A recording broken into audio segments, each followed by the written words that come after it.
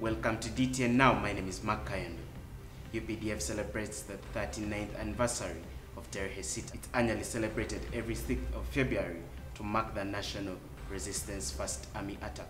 That day is marked annually in commemoration of the first guerrilla attack by the National Resistance Army on Kabamba Barracks on the 6th of February 1981.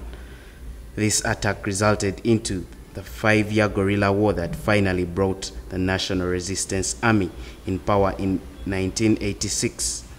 It brought importance to the NRM family. The main celebrations are being held today at Butalangu grounds in Nakaseke district. In honor of this day, the UPDF officers voluntarily cleaned and offered medical services to citizens in towns like Jinja on Monday this week and Entebbe. Thank you for watching DTN Now. My name is Mark Kayondo. Don't forget to subscribe on our YouTube channel and follow us on all our social media platforms that is Facebook, Instagram, and Twitter. For you.